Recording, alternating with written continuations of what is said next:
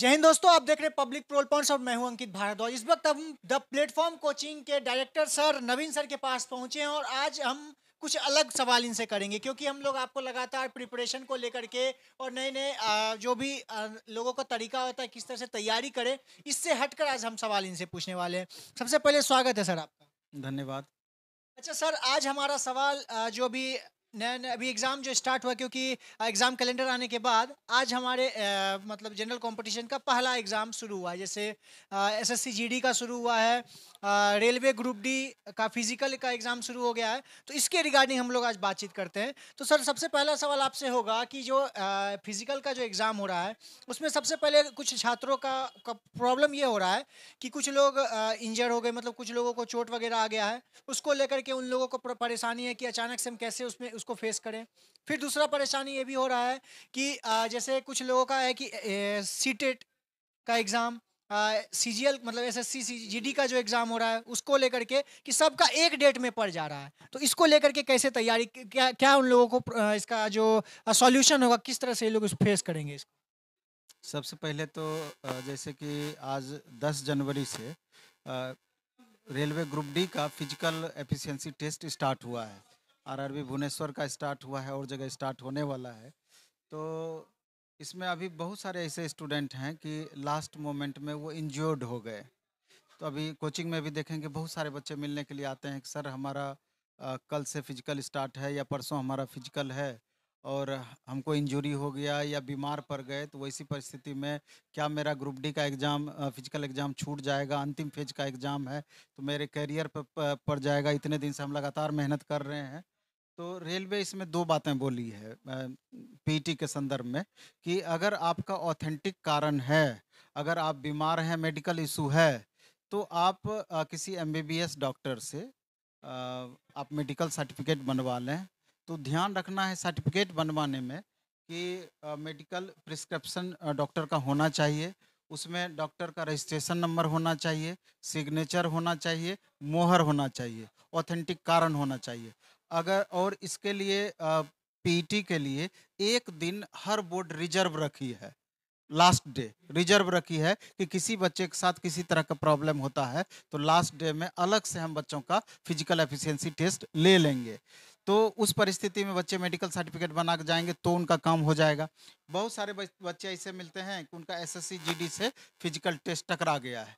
बहुत बच्चे हैं, सीटेट का एग्ज़ाम है, उसका, उससे टकरा गया है। तो वैसी परिस्थिति में अगर एडमिट कार्ड वो लेकर के जाते हैं तो भी उनका लास्ट रिज़र्व डेट में मेंशन हो जाएगा। लेकिन मेरा ये कहना है, ये इस तरह का नोटिस दी है रेलवे और हम भी इस नोटिस पे कंफर्म हैं। लेकिन फिर भी बच्चों को ये हम सलाह देते हैं कि अगर आप ऐसा करते हैं तो संबंधित बोर्ड से एक बार कंफर्म आप हो जाएँगे, और उसके बाद आप इस तरह का जो सुविधा दी है बोर्ड उसके नॉर्म को फुलफिल करते हुए उसका लाभ आप उठा सकते हैं।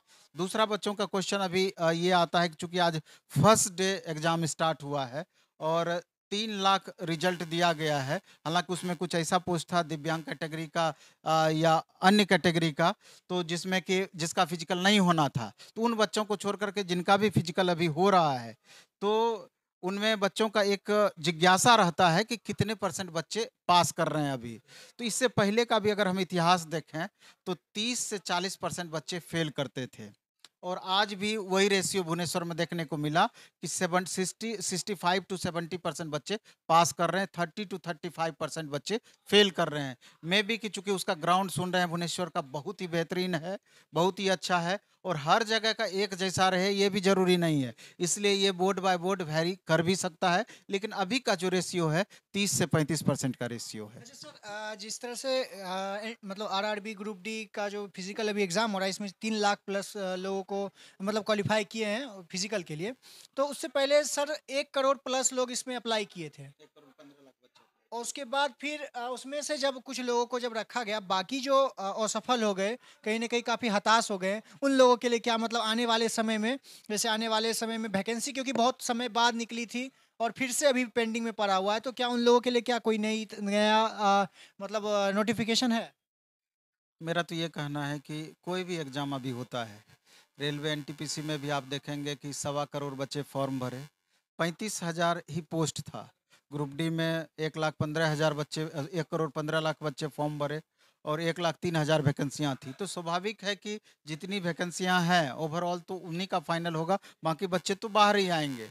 तो उसमें जो कि बच्चे, पूरा डेवोटी बच्चे हैं, जिनका कुछ एक मार्च से छूटा है पॉइंट में छूटा है, एक मार्च, दो मार्च, पाँच मार्च से छूटा है तो उन बच्चों के लिए हम यही कहना चाहेंगे कि इसमें भी आप तरह तरह का कैटेगरी है। बहुत सारे बच्चे हैं कि पूरा डेवोशन के साथ तीन साल, चार साल से लगातार तैयारी कर रहे थे और लास्ट मोमेंट में उनका सिलेक्शन नहीं हुआ, काफ़ी हताश हुए।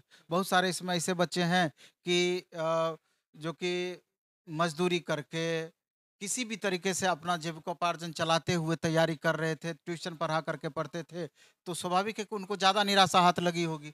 और बहुत सारे ऐसे बच्चे थे कि जिनके गार्जियन सक्षम थे, उन पे थोड़ा कम लोड महसूस हो रहा होगा। लेकिन परेशान सारे बच्चे हैं। तो मेरा ये कहना है कि हतोत्साहित होने से काम नहीं चलेगा, बल्कि आपको सेल्फ एवोल्यूशन करने की ज़रूरत है कि कहाँ कमी रह गई, हमारी रणनीति में कहाँ कमी रह गई, कहाँ हमारी तैयारी में कमी रह गई कौन सा हमारा पोर्सन ज़्यादा वीक रह गया, जिसके कारण से हमारा रिज़ल्ट नहीं हो पाया है।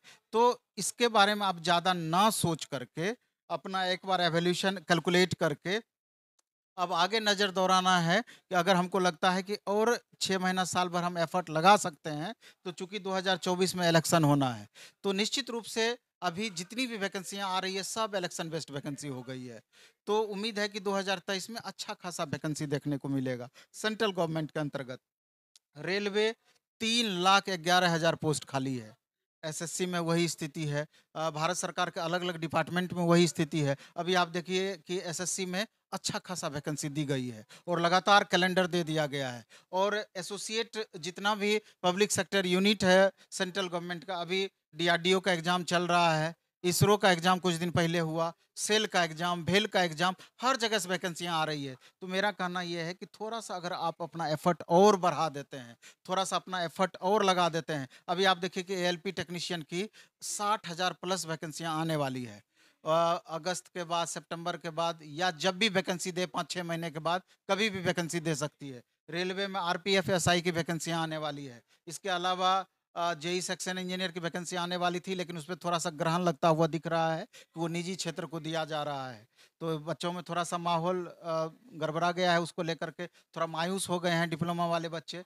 लेकिन फिर भी वैकेंसियाँ लगातार है। तो अगर बच्चे थोड़ा सा अपना मेहनत बढ़ा देते हैं, मैं भी यहाँ पर नहीं हुआ तो वहाँ पर प्रबल संभावनाएँ रहेगी कि इनका किन्हीं न किन्हीं पद के लिए ज़रूर हो जाएगा और पूरा एफर्ट बच्चों को लगाना चाहिए, क्योंकि मालूम है कि जब करोड़ों की संख्या में फॉर्म भरने, भर रहे हैं और हज़ारों में सीटें रहती है तो जब तक हम अपना मेहनत मैक्सिमम नहीं करेंगे तो कैसे हम रिज़ल्ट की होप कर सकते हैं? हम तो सीधा यही अभी तक देखे हैं ईमानदारी पूर्वक जो बच्चे लगे हुए हैं जो बच्चे लगातार मेहनत कर रहे हैं, हो सकता है कि इस वैकेंसी में नहीं हुई है, लेकिन अगर लगातार मेहनत कंटिन्यू रखे हैं तो ज़रूर उनका कुछ ना कुछ अच्छा होना है, इसमें नहीं हुआ है तो उसमें होगा, उसमें नहीं हुआ है तो उसमें होगा, श्योर होगा, लेकिन थोड़ा देर हो सकता है, लेकिन सफलता गारंटेड उनको मिलेगी ही मिलेगी और लगातार मिल रही है।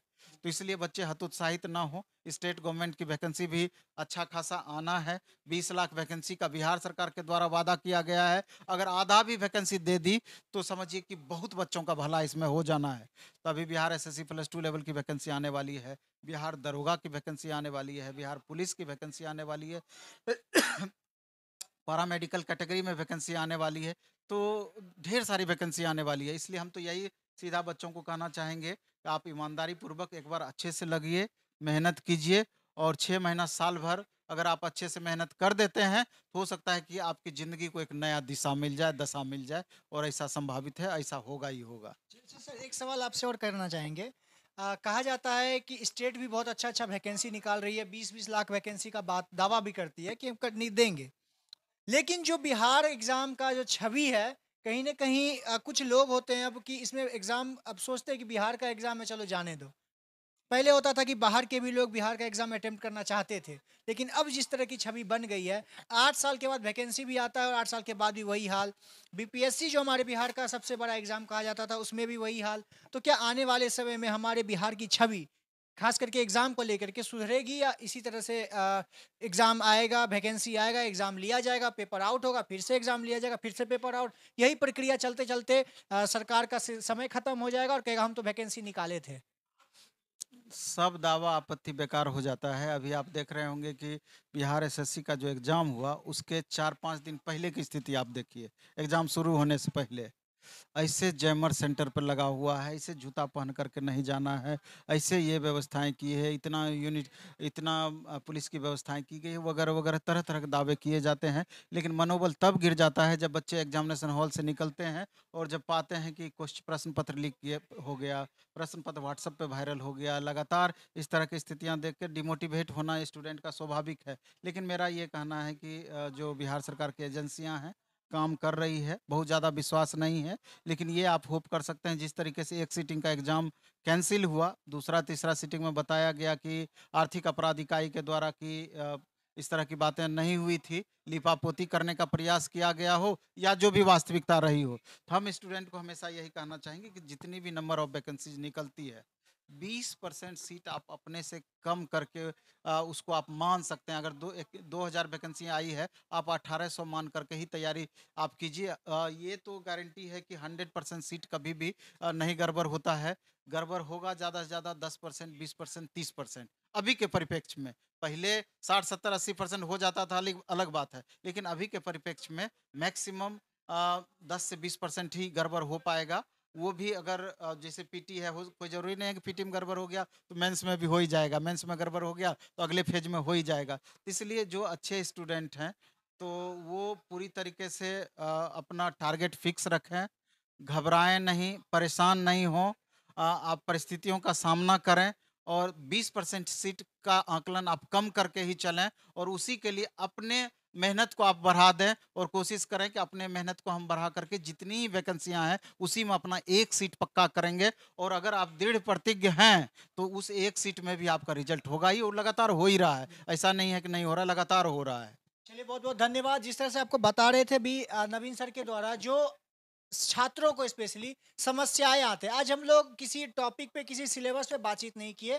आज हम बात किए हैं कि जो छात्रों की समस्या होती है, जिसको लेकर के छात्र काफ़ी परेशान होते हैं, चाहे एग्ज़ाम के समय में हो, चाहे एग्ज़ाम में असफल होने के बाद या चाहे एग्ज़ाम में क्वालिफाई करने के बाद, जो भी समस्या होती है, हम सारी बातें आज नवीन सर से किए थे और इन्होंने सबका समाधान, सबका सॉल्यूशन अपने तरीके से बताया।